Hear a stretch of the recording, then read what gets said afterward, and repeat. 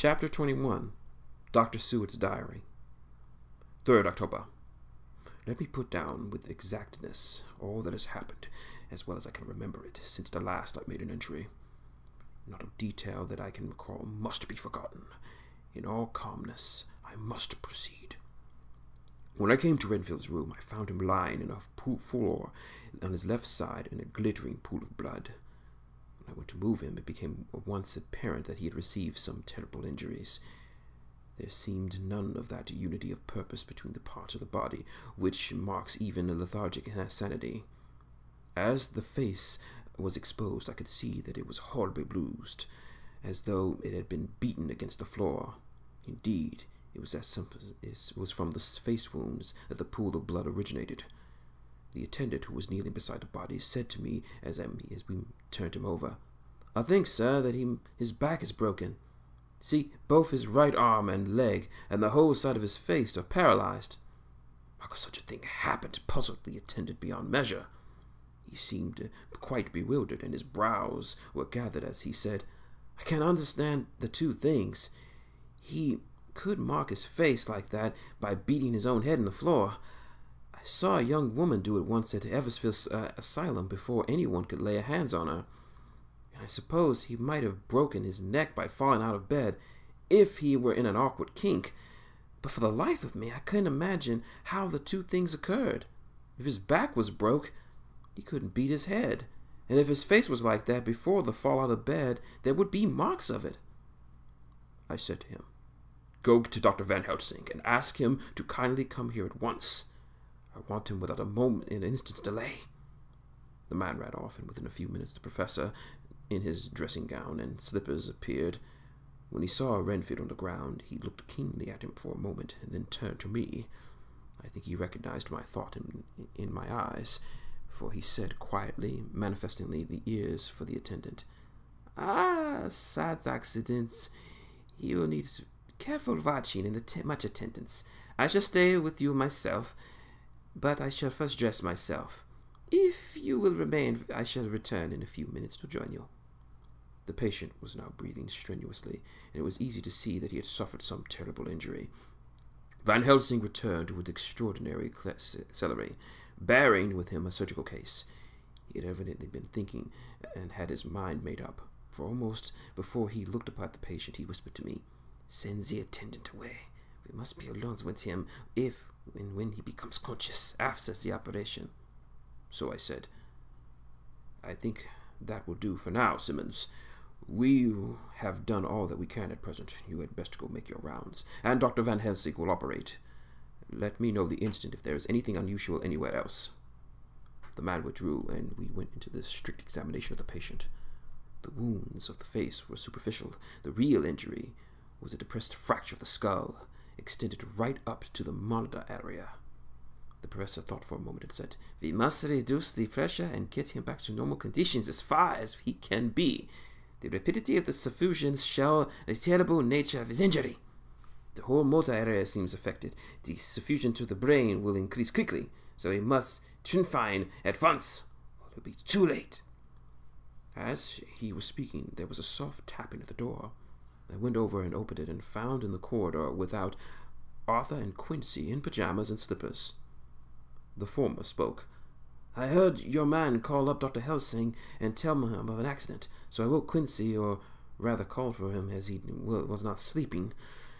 Things are moving too quickly and too strangely for any sound of sleep for any of these times. I've been thinking that tomorrow might we might not see things as they have been. We'll have to look back and forward a little more than we have done. May we come in? I nodded and held the door open until they entered, then closed again. When Quincy saw the attitude and state of the patient and noted the horrible pool of blood, he said softly, My God! What's happened to him? Poor, poor devil. I told him briefly and added that we expected that he would recover consciousness after the operation, for a short time at all events. He was at one, he went at once and sat down at the edge of the bed, with Godalming beside him. We all watched in patience. We shan't wait, we shall wait, said Van Helsing. Just long enough to fix the best spot for trephining, so that we may most quickly and perfectly remove the blood clot. for it is evident that the hemorrhage is increasing. The minutes during which we waited passed with fearful slowness. I had a horrible sinking in my heart, and from Van Helsing's face I gathered he felt some fear or apprehension as to what was to come. I dreaded the words that Renfield might speak. I was positively afraid to think. The conviction of what was to, what was coming on was coming on to me, as I had read of men who had heard the death watch. The poor man's breathing came in unexpected gasps. Each instant he seemed as though he would open his eyes and speak, but then would follow a prolonged strenuous breath, and he would relapse into a more fixed instability. Ensured that I was was to the sick bed and deaf, this suspense grew and grew upon me. I could almost hear the beating of my own heart. The blood surging through my temples sounded like a blows from a hammer. The silence finally became agonizing. I looked to my companions, one after the other, and saw from their flustered faces and damp brows that they were enduring the equal torture. This was a nervous suspense for all of us, as though overhead some dread bell would peal out, powerf- out powerfully when we least expected. At last, there came a time when it was evident that the patient was sinking faster. He might die at any moment. I looked up at the professor and caught his eyes fixed on mine. His face was stern as he spoke. There's no time to lose. His words may be worth many lives. I have been thinking so as I stood here. It may be is a soul at stake. We shall operate just above the ear. Without another word, he made the operation.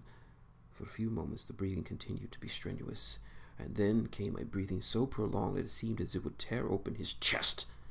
Suddenly, his eyes opened and fixed in a wild, helpless stare. This continued for a few moments. Then it softened into glad surprise, and from the lips came a sigh of relief. He moved convulsively, and as he did so, said, I'll be quiet, Doctor. Tell them to take off the straight waistcoat. I've had a terrible dream. It left me so weak that I cannot move. What's wrong with my face? It, it feels so swollen and it smarts dreadfully. He tried to turn his head, but even with with the efforts, his eyes seemed to grow glassy again. So I gently put it back. Then Van Helsing said in a quiet, grave tone, Tell us your dream, Mr. Renfield. As he heard the voice, his face brightened, though its mutations, and he said, That is Dr. Van Helsing. How good it is of you to be here. Give me some water. My lips are dry, and I shall tell you. I dreamed. He stopped and seemed fainting. I called quickly to, the, to Quincy. The brandy! Quick, it is in my study! He flew and returned with a glass, the decanter of brandy, and a carafe of water. We moistened the parched lips, and the patient quickly revived. It seemed, however, that his poor injury, injured brain had been working in the interval, for when he was quite conscious, he looked at me piercingly with an agonized confusion which I shall never forget, and said, I must not deceive myself. It was no dream, but a, a grim reality. Then his eyes roved around the room. As I caught sight of the two figures sitting patiently at the edge of the bed, he went on, If I were not so already, I would know from them. For an instant his eyes grew closed, not with pain or sleep, but voluntary, as if though he was bringing all of his faculties to bear. When he opened them, he said hurriedly, and with more energy than he had already displayed. Quick, doctor, quick! I'm dying. I feel that I have but a few minutes, and then I must go back to death, or worse. Wet my lips with brandy again. I have something that I must say before I die, or before my poor crushed brain dies anyhow. Thank you. It was that night that you left me, when I implored you to let me go away. I couldn't speak then, for I felt my tongue was tied. But I was as sane then, except in that way as I am now. I was in agony of despair for a long time after you left me. It seemed hours. Then there came a sudden peace to me. My brain seemed to become cool again, and I realized where I, I was. I heard the dogs bark behind our house, but not where he was. As he spoke, Van Helsing's eyes never blinked, but his hand came out and met mine and gripped it hard. He did not, however, betray himself. He nodded slightly and said, Go ons, in a low voice. Renfield proceeded. He came up to me in the window in the, in the mist as I had seen him often before, but he was solid then, not a ghost. But his eyes were fierce like a man's when angry. He was laughing with a red mouth. His teeth, sparkling and sharp white, glinted in the moonlight when he turned to look back over the bent trees where the dogs were barking. He wouldn't ask me to. I wouldn't ask him to come in at first, though I knew he wanted to just as he had always wanted all along. Then he began promising me things, not in words, but by doing them. He was interrupted by a word from the professor. How? By making them happen. Just as he used to send in the flies during this when the sun was shining, great big fat ones with steel and sapphire wings, and big moths in the night with skull and crossbones on their back. Helsing nodded to him as he whispered to me unconsciously, The Acherontia atropos of the Sphinges. That you would call the death-head's muff? The patient went on without stopping. Then he began to whisper, Rats, rats, rats, hundreds, thousands, millions of them, and every one alive. And dogs eat them, and cats too, all lives, all red with years of blood in them, and not merely buzzing flies. I laughed at him, for I wanted to see what he could do. Then the dogs howled. Away beyond the dark trees in his house, he beckoned me to the window. I got up and I looked out, he raised his hands and seemed to call out without saying any words. A dark mass spread over the grass, coming on like the shape of a flame of fire. And then he moved the mist to the right and out, and he raised his hands and left. And I could see there were thousands of rats with their eyes blazing red like his, only smaller. He held his hand up and they all stopped. I thought he might be, then I thought he might be seen to be saying, "All of these lives I will give you, I and many more and greater." Throw countless sages if you will fall down and worship me. And then a, a, a red cloud like the color of blood seemed to close over my eyes, and before I knew what I was doing, I found myself opening the sash and saying to him, Come in, Lord and Master. The rats were all gone, but he slid into my room through the sash, though it was only but open an inch wide, just as the moon herself had often come in through the tiniest crack, and he stood before me in all of her size and splendor. His voice grew weaker, so I moistened his lips with brandy again, and he continued, but it seemed as though his memory had gone on working in an interval until his story was further advanced. I was about to call to him to back to the point, but Van Helsing whispered to me, Let him go on. Do not interrupt him. He can't go back now. And maybe he could not proceed all at once if he had lost this thread of thought. He proceeded. All day I waited to hear from him, but he did not send me anything, not even a blowfly. And when I went, and when the moon got up, I was pretty angry with him when he slid in through the window, at, though at once it was shut, and didn't even knock. I was mad with him. He sneered at me, and his white face looked out at them of the mist with his red eyes gleaming, and he went on as though he owned the whole place. I was no one. He didn't even smell the same as he went by. I couldn't hold him, I thought. Somehow Mrs. Harker had come into the room two men on the bed stood up and came over, standing beside him so that he could not see him. But when they could hear him better, they were both silent, but the, but the professor started and quivered. His face, however, grew grimmer and sterner still. Renfield went on without noticing. When Mrs. Harker came in to see me this afternoon, she wasn't the same. It was like tea after the teapot had been watered. Here we all moved, but no one said a word. He went on. I didn't know she was still here until she spoke. She didn't look the same. I don't care for pale people. I like them with lots of blood in them, and hers have seemed to all but run out. I didn't think of it at the time, but when she went away, I began to think, and it made me mad to know that he had taken the life out of her.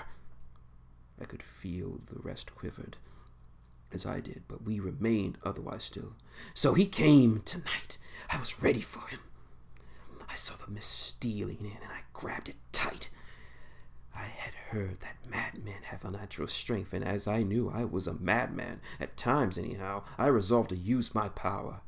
Ay, and he felt it too, for he had come from the uh, out of the mist to struggle with me.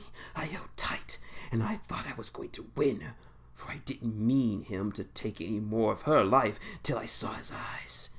They burned into me, and my strength became like water. He slipped through it, and when I tried to cling to him, he raised me up and flung me down. There was a red cloud before me, and a noise like thunder, and the mist seemed to steal away under the door. His voice became fainter and his breath more strenuous. Van Helsing stood up instinctively. We now know the worst, he said. He is here, and we know his purpose. It might not be too late.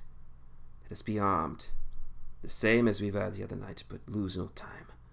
There is not an instant to spare. There was no need to put our fear, nay, our conviction into words. We share them in common. We hurried and took to, from our rooms the same things we had when we entered the Count's house. The professor had his ready, and as we met in the corridor, he pointed at them significantly and said, They will never leave me. They shall not till this unhappy business is over. Be wise also, my friends. It is not com- it is no common enemy that we deal with. Alas, alas, that is our dear Madam Mina should suffer. He stopped, his voice breaking, and I do not know if rage or terror predominated in my own heart. Outside the Harker's door, we paused. Art and Quincy held back the ladder. Should we, should we disturb her? We must, said Van Helsing grimly. If the door be locked, I shall break it in. May not frighten her terribly. It's unusual to break into a lady's room. Van Helsing said somberly. You're right as always, but this is life and death. All the chambers are alike to the doctor. And even where they were not, they were still all the one for me tonight. Friend John, when I turn the handle, if the door does not open, do put your shoulder down and shove. And you too, my friends. Now! He turned the handle as he spoke, but the door did not yield. We threw ourselves against it. With a crash, it burst open, and we all fell headlong into the room. The doctor actually fell, and I saw across from him as he gathered himself up on his hands and knees. What I saw appalled me. I felt my hair rise like bristles on the back of my neck, and my heart seemed to stand still. The moonlight was so bright that through the thick yellow blinds the room was light enough to see. On the bed beside the window lay Jonathan Harker, his face flushed, breathing heavily as though in a stupor. Kneeling at the edge of the, the bed, facing outward, was the white clad figure of his wife. By her stood a tall, thin man clad in black. His face was turned from us, but the instant we saw, we all recognized the Count in every way, even the scar on his forehead. With his left hand, he held both Mina's, uh, Mrs. Harker's hands, keeping them away with his hands at full, hands full attention. His right hand gripped her by the back of the neck, forcing her down for, on her bosom. Her white nightdress was smeared with blood, and a thick, thin stream trickled down the man's bare breast, which was shown to have been torn open dress. The attitude of the two had a terrible re- resemblance of a child forcing a kitten's nose into a saucer of milk to compel to drink it. As we burst into the room, the Count turned his face, and the hellish look that I had heard described seemed to leap into it. His eyes flamed red with devilish passion. The great nostrils of the white aquiline nose opened wide and quivered at the edge, and the white sharp teeth behind the full lips of blood dripped mouth clamped together like those of a wild beast. With a retch, which he threw his victim back onto the bed, as though hurling from a height, he turned and sprang at us. But by, the time, by this time, the professor had gotten gained to his feet and was holding towards him an envelope which contained the sacred wafer. The count suddenly stopped from the height, just as poor Lucy had done outside the tomb, and cowered back. Further and further back he cowered, as we, lifting our crucifixes, advanced. The moonlight suddenly failed, as a great cloud of black sailed across the sky and when the gaslight sprang up upon Quincy's match, we saw nothing but vapor. This, as we looked, trailed under the door, which, with the recoil from its bursting, sailed across the sky, and when the and opened, had swung back in its old position. Van Helsing, Art, and I moved forward to Mrs. Harker, who by this time had drawn her breath and it would have given it a scream so wild, so ear piercing, so despairing that it seemed to me now that it would ring in my ears till my dying day. For a few seconds she lay helpless. She lay in her helpless attitude in disarray. Her face was ghastly, with a pallor that seemed to articulate by blood, which was smeared her lips and cheeks and chin. From her throat trickled a thin stream of blood. Her eyes seemed mad with terror. Then she put her before her face, her poor crushed hands, which bore on their whiteness the red marks of the Count's terrible grip, and from behind him came a low, desolate wail that made the terrible scream only quick, only the quick expression of endless grief.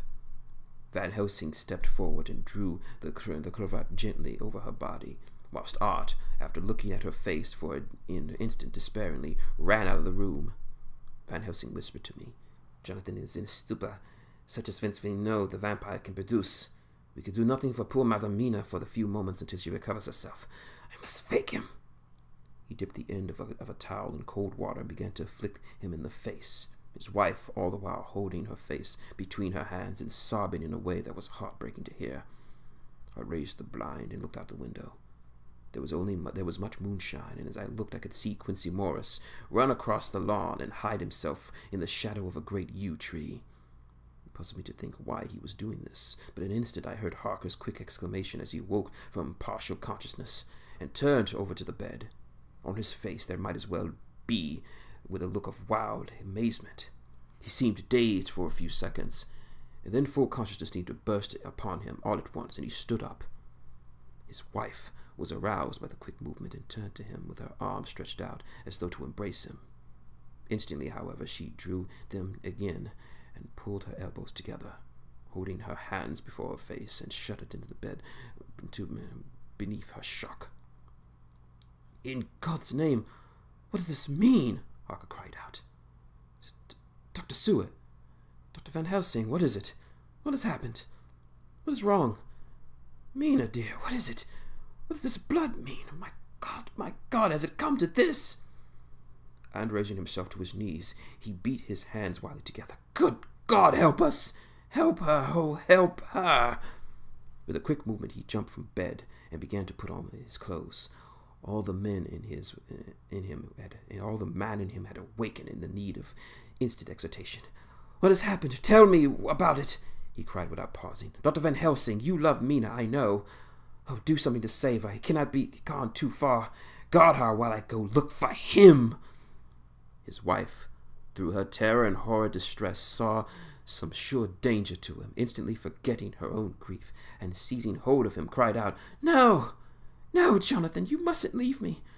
I've suffered enough tonight. God knows what the dread of him harming you. You must stay with me. Stay with these friends who will watch over you.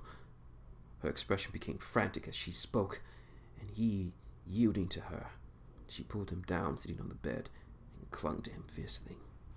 Van Helsing and I turned, tried to calm them. The professor held up a little gold crucifix and said in wonderful calmness, Do not fear, my dear. We are here.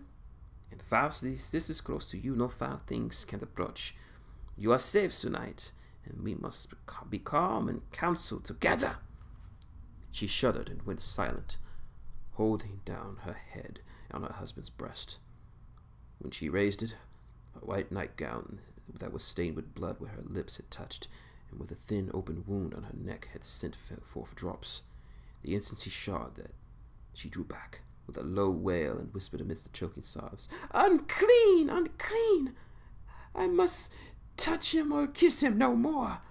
Oh, that it should be it is I who was his worst enemy, and whom he may not have caused to have great fear. To this he spoke out resolutely. Nonsense, Mina. It is a shame to me to hear such words. I will not hear it from you, and I shall not hear it from you. May God judge me by my deserts, and punish me more bitterly in suffering at this hour, if by any act or will of mine anything has ever come between us.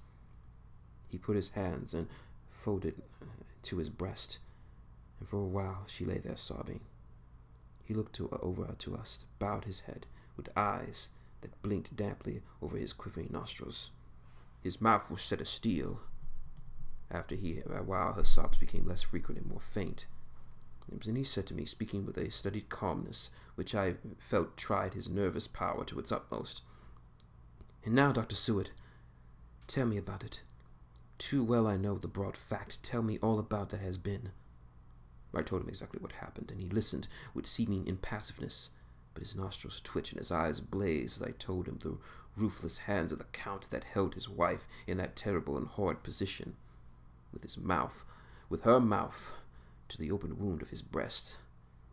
It interested me, even at that moment, to see that whilst the face of white seemed set passion worked convulsively over the brow, the hands tenderly and lovingly stroked the ruffled hair. Just as I finished, Quincy and Godalming knocked on the door. They entered in obedience to our summons. Van Helsing looked at me questioningly. I understand him to mean that if they were to take advantage of the coming of the d- their coming to divert quite possibly the thoughts of the unhappy husband and wife from each and from themselves. So, on nodding acquiescence to him, he asked what they had seen or done to which Lord Godalming answered. I could not see him anywhere in the passage or in any of our rooms. Looked into the study, but though he had been there, he was gone. He had, however, he stopped suddenly, looking at the poor drooping figure on the bed. Van Helsing said gravely, Go on, Zinfernauza. We want here no more concealments. Our hope is now is all that is knowing. Tell freely. So Art went on. He had been there, though it could not have only been for a few seconds. He made rare haze of the place. All the manuscripts that had been burned and the blue flames flickered amongst the white ashes. The cinders, the cylinders of your phonograph were too thrown into the flame, and the wax had helped the flames. Here I interrupted. Thank God there's uh, the other copies in the safe. His face lit up for a moment, but then fell again as he went on. I ran downstairs, but could see no sight of him. I looked into Renfield's room, but there was no trace except Again he paused. Go on, Harker said hoarsely. So he bowed his head and moistened his lips with his tongue and added, Except that the poor fellow is dead. Mrs. Harker raised her head, looking from one side to another, and she said solemnly, God's will be done. I could not but feel that Art had been keeping back something, but as I took it, took it as uh, took it as with some purpose, I said nothing. Van Helsing turned to Morris and asked, Adieu, dear Fincrancy. Have you any to tell? A little, Peter answered.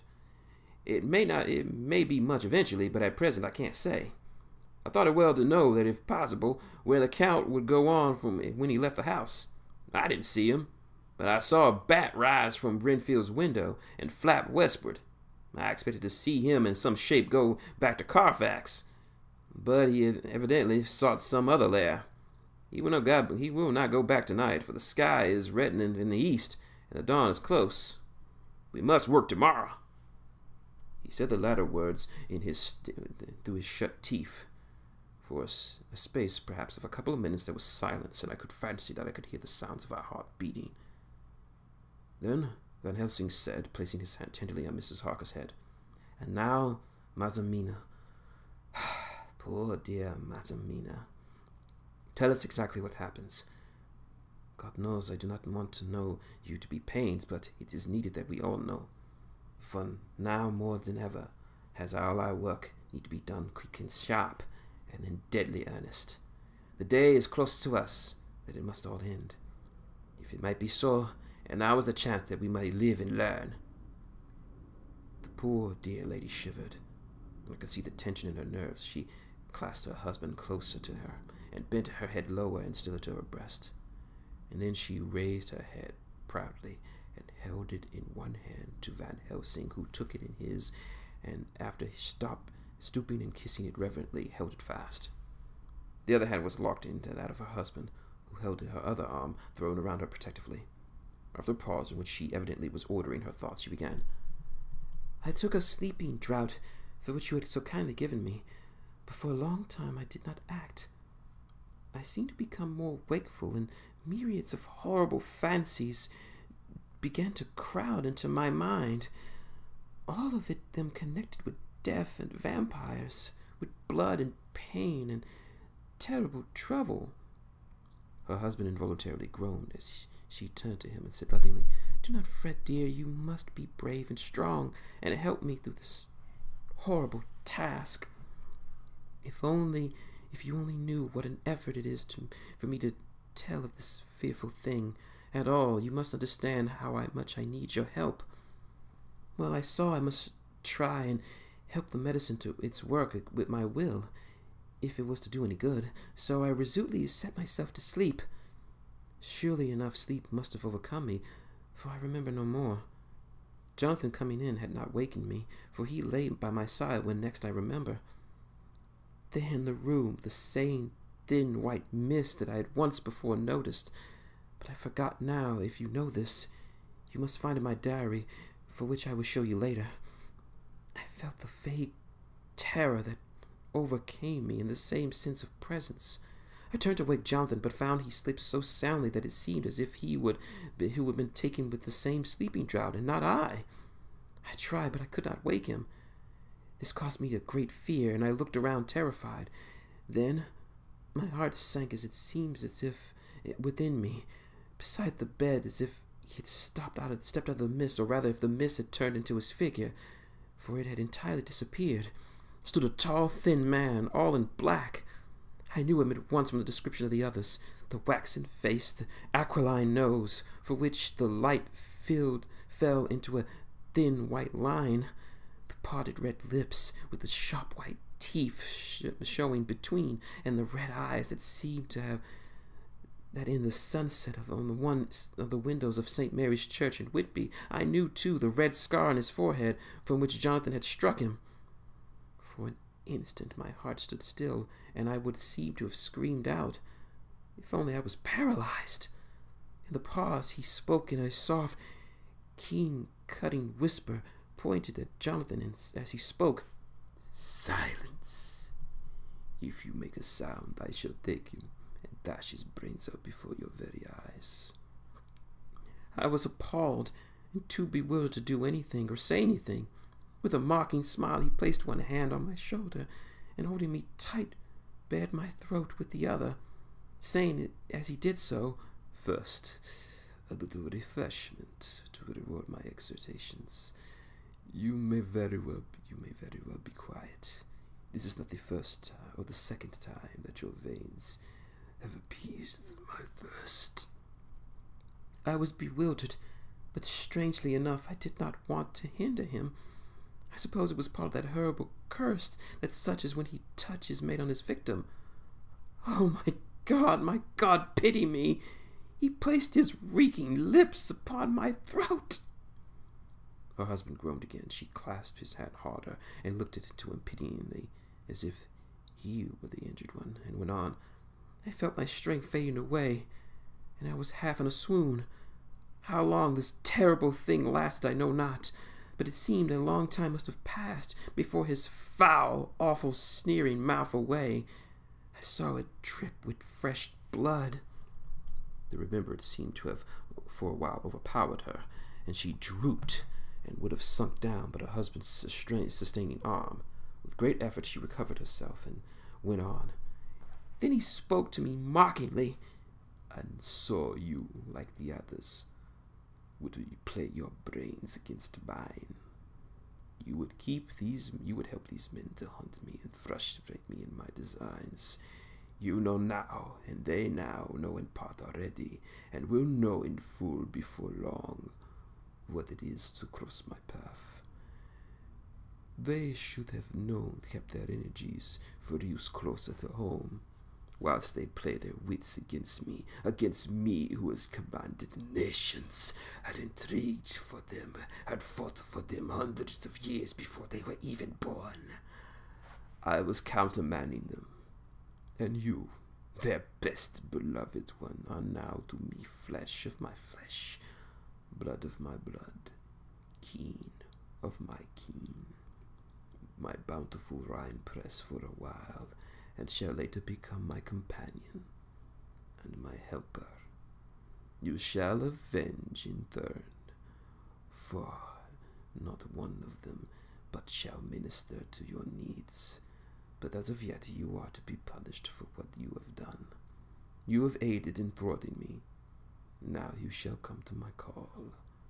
When my brain says come, to you you shall cross the land and see to do my bidding and to that end this. With that, he pulled open his shirt and with a, his long, sharp nails opened a vein in his breast. When the blood began to spurt out, he took my hands in one of his, holding them tight, and with the other seized my neck and pressed my mouth to the wound so that I must either suffocate or swallow some of the. Oh my God, my God, what have I done? What have I done to deserve such a fate? I who tried to walk in meekness and righteousness in all my days, God pity me. Look down on a poor soul in worse than mortal peril, and in mercy pity those who she holds dear. And then she began to rub her lips as though to cleanse them from the pollution. As she was telling her terrible story, the eastern sky began to quicken, and everything became more and more clearer. Harker was still quiet but over his face, as the awful narrative went on, came a grey look which deepened and deepened in the morning light, till when the first red streak of the coming dawn shut up, the flesh stood up, darkeningly, against the whitening hair. We had arranged that one of us is to stay within call of the unhappy pair until we meet together and arrange to take action. Of this I am sure. The sun rises today on no more miserable house than all the great round of its daily course.